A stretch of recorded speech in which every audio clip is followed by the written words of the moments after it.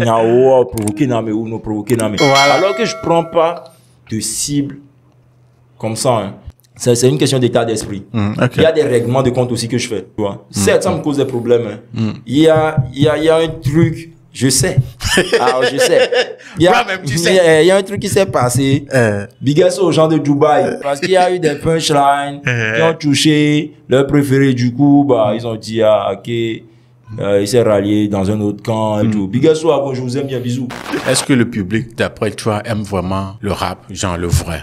Ils sont trop habitués au, je vais pas dire duplicata.